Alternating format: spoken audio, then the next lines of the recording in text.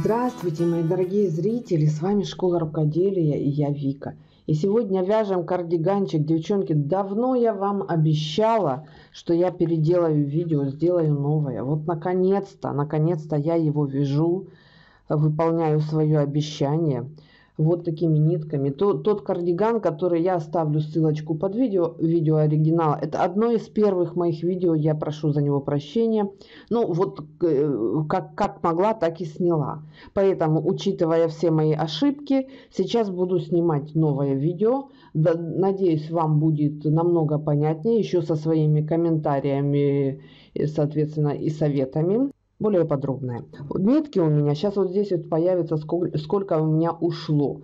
Плотность э, ниток в 100 граммах 110 метров, то есть довольно, довольно толстые, мягкие такие э, приятные ниточки. То есть э, смотрите, чтобы пряжа у вас такая, ни, ни в коем случае не покупайте акрил, потому что будет стоять колом. Здесь у меня шерсть с акрилом, и поэтому оно не обязательно шерсть, не то что не обязательно, не надо шерсть стопроцентную. Просто э, смотрите, чтобы были очень мягкие и хорошо оно легло. Ширина, девчонки, я беру стандартную ширину, то есть полотна. Вот здесь вот у меня спинка э, универсальную. Я так считаю, что это от 40 и до 50 размера ширина спинки у меня 55 сантиметров. Вы же корректируйте так, как считаете нужным. То есть, если вы хотите уже, делайте уже. То есть, у меня 55 сантиметров. Так, 55 сантиметров это 70 петель. На вот эти вот спицы 6 миллиметров. И на спицы я набираю 70 петель для спинки.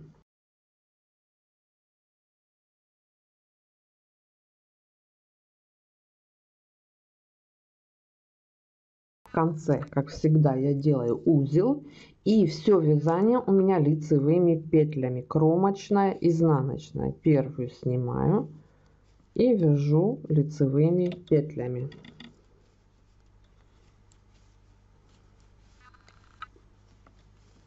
кромочные изнаночные и четные ряды тоже лицевыми петлями Продолжаем вязание ровным полотном. Теперь немного поговорим по схеме. Вот мои основные три детали. Да, спинка и две полочки. Спинка у меня 70 сантиметров, это 50 70 э, петель это 55 сантиметров при этих спицах и нитках полочки по 36 петель половина плюс 1 это 28 сантиметров вот такие три детали мы вяжем ровно столько сколько мы хотим длину.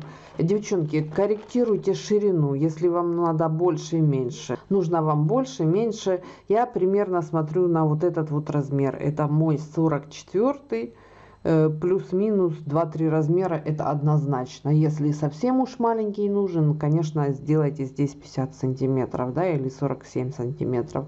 Соответственно полочки будут вот это число поделено на 2 плюс 1 кромочка. Далее что касается длины. У меня это жакет э, Поэтому у меня 63-65 сантиметров примерно оно колеблется, потому что платочная вязка, вы знаете, она довольно-таки эластичная. И я еще рассчитываю на то, что она еще и подтянется. Она в любом случае потянет вниз, как бы тяжелое полотно. Поэтому у меня 148 рядов, это 63, приблизительно 65 сантиметров. То есть в лежачем положении 63, в висячем э, потом увидим. Сейчас не могу сказать, потому что еще нет рукавов. Э, так, теперь, что я буду делать? Я буду сшивать плечевые швы. Вот мои эти три полотна. Еще я вам показала на фотографии. И сшивать я буду, девчонки, крючком сначала одну сторону, потом вторую. Вот так вот я буду брать по одной петле с одной и со второй половины и провязывать крючком такую цепочку. Теперь у меня будет по 3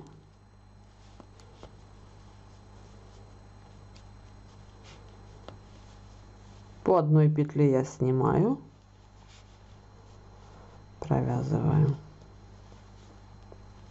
Вот так вот это выглядит. То есть, чтобы не сшивать спицами и чтобы шов был немного такой посимпатичнее, на мой взгляд, я это делаю. Вот, смотрите, закрыла я 24 петли, да, со спинки и спереда. Вот так вот это выглядит. Здесь это выглядит вот так, довольно эластично, симпатично. Так, последнюю петлю я одеваю на спицу полочки. И остается у меня здесь 2, 3, 4, 5, 6, 12 и 13 петля, которая отсюда, которая кромой. То есть, по сути, вот так вот. Здесь у меня остается 12 петель плюс одна кромочная. Вот здесь вот. И здесь я буду продолжать вязание. То есть эту вторую половинку... Ой, я неправильно нарисовала. Вот так вот. Да? Эти 12 петель у нас вот здесь вот. Потому что здесь мы сшиваем вот это. И здесь по центру у нас останутся свободные петли. И на полочках у нас тоже останутся здесь 13 петель и здесь 13 петель. Теперь я вот эту часть оставляю и перемещаюсь ко второй части. И здесь я точно так же соединю плечевой шов. Так, то есть получается, что мы на плечо закрываем 2 трети петель полочки. Если у меня 36 петель, и я закрыла 24 и 12 у меня осталось, ну, соответственно, плюс 1 кромочная. Поэтому 2 трети закрываем, одну треть оставляем. Это я говорю для тех, кто будет вязать другой размер. Примерно ориентировочно вы на плечевой шов используйте 2 трети всего полотна. Так, еще хочу сказать по поводу длины. Девчонки, тоже корректируйте. Э, если вы хотите пальто, вяжите длину ту, которую вы хотите. То есть я дала ориентировочную длину, ту, которую я вяжу. Вы же можете вязать на ваше усмотрение. То есть это уже разницы нет. Просто вяжете это полотно на ту длину, которую вы хотите. Осталось у меня 12 и 13 я пере, переместила на спицы переда.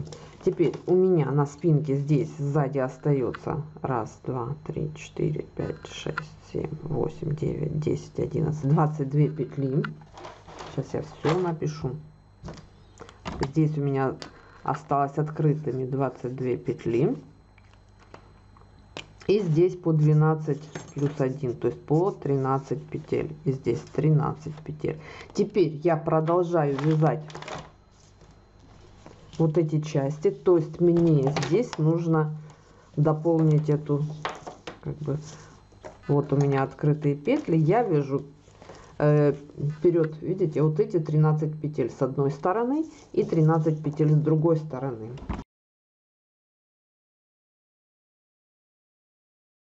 Вот смотрите, вот моя горловина. Девчонки, я, конечно, сглупила здесь вот. Мне надо было сразу уже закрыть эти петли. Но я думаю, все думала, что я, может быть, их как-то пришью тут. Но, ну, решила Сейчас решила, что я сделаю все-таки по старинке.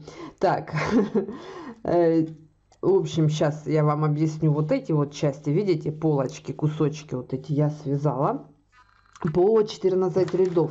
А в сантиметрах это у меня... Это у меня 6 сантиметров. Вы тоже смотрите вот здесь вот визуально, чтобы не было оно как бы расхлябано здесь, чтобы было в натяжечку, чтобы горловинка красиво села. Вот. У меня 6 сантиметров. Да, я напишу. И 14 рядов. 14 рядов. Вот эта вот часть. Так, далее.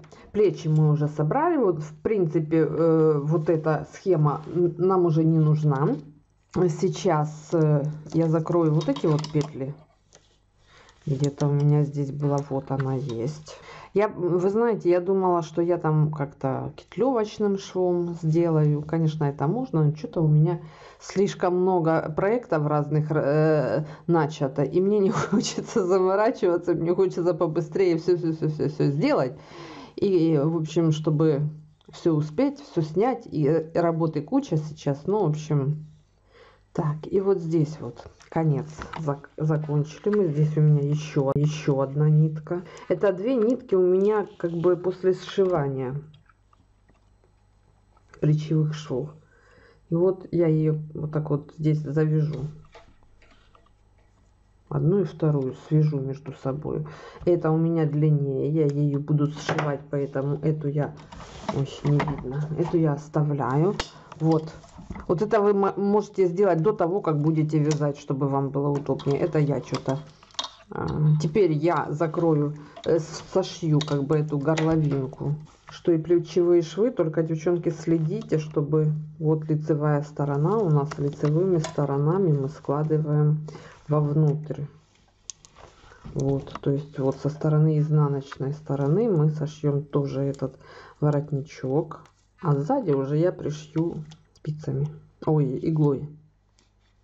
Может и есть какой-то крючком способ, но пока я его не знаю. Как только найду, так я вам сообщу. Последнее.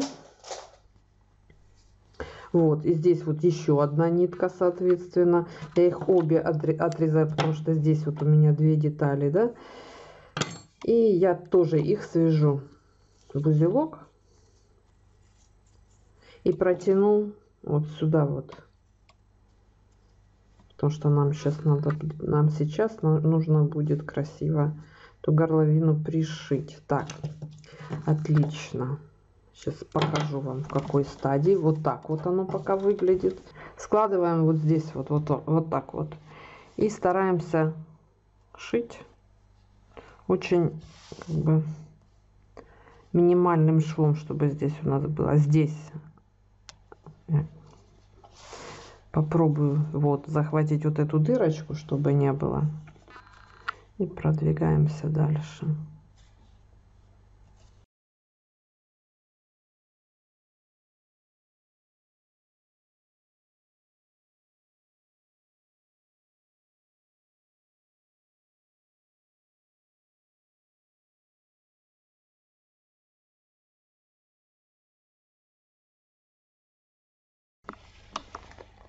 Так, вот здесь вот прихватить вот эту обязательно дырку, замаскировать.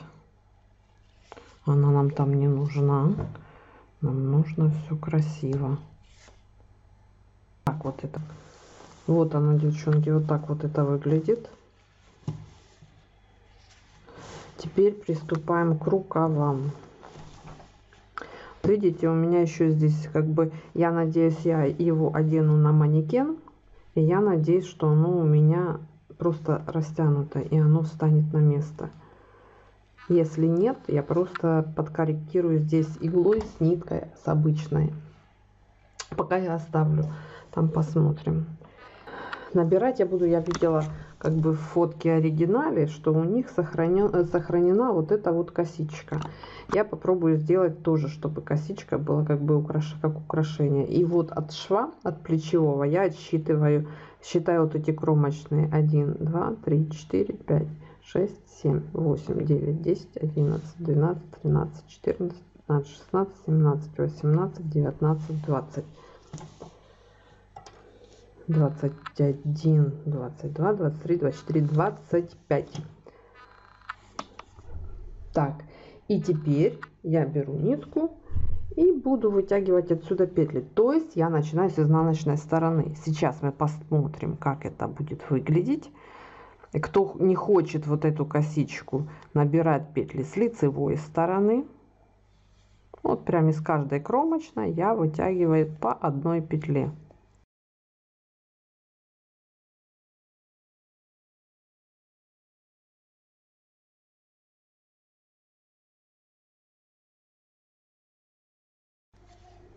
Так, с одной стороны у меня 25 петель. И с другой стороны я прямо вот буду считать.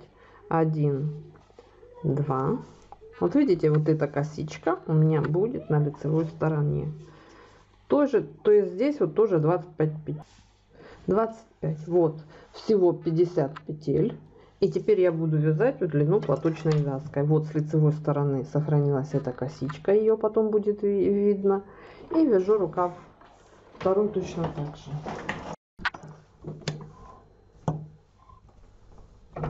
Вот, девчонки, такая конструкция у меня получилась. Показываю сам рукав. Видите? Вот так вот выглядит этот шовчик. Как бы отделочный. Сам рукав длинный. Здесь, девчонки, рукав можете регулировать по себе. Хотите три четверти рукав, хотите длинный, хотите манжет вот так вот отворот. Это уже на ваше усмотрение. То есть в этом рукаве мы можем легко регулировать то, какую, какую длину нам нужно. То есть мы вяжем от плеча в длину и можем на себя мерить и определить, как мы хотим. Даже в случае, если мы хотим э, попробовать несколько вариантов, не составит труда связать и потом распустить, да, если нам не нравится. То есть остальному целому изделию это не навредит. То есть мы распустим кусочек. У меня это 40 сантиметров. А вы смотрите, ширина рукава вот сложенного вдвое у меня получилась 20 сантиметров, то есть 40 на 40 у меня получился квадрат, это мой рукав. Так, и теперь, девчонки, сборка. Вот сейчас я вам покажу шов, которым я сшиваю этот кардиган. Вот так вот он выглядит. Видите, какой он симпатичный, декоративный. Игла вот эта пластмассовая, широкая, большая, толстая. Нити те, которыми вязала, вот так вот он выглядит с изнанки. То есть очень практичный шов для таких толстых вещей. То есть обычный шов здесь будет очень грубо. Как я это делаю? Вот смотрите, если сложить две детали изнаночными сторонами вовнутрь, то есть шьем мы по лицу. И вот наши кромочные. Я хватаю здесь и здесь те кромочные, которые смотрят друг на друга. То есть внешние я с этой стороны и с этой стороны оставляю нетронутыми. Видите? То есть я сшиваю только за эти кромочные. Таким вот образом получается такой красивый шов оригинальный декоративно, я бы сказала.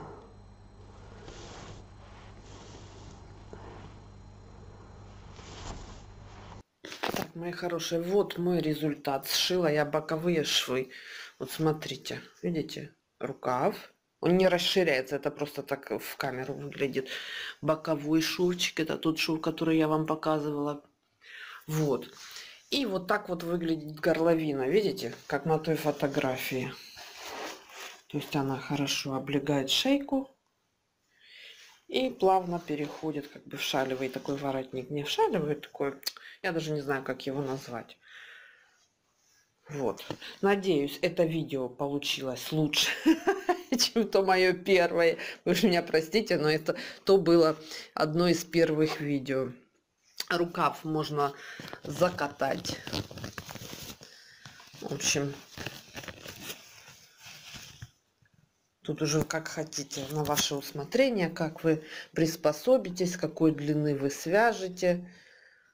Так, так и будете носить. Но я думаю, о, вот так вот мне нравится больше, смотрите, видите?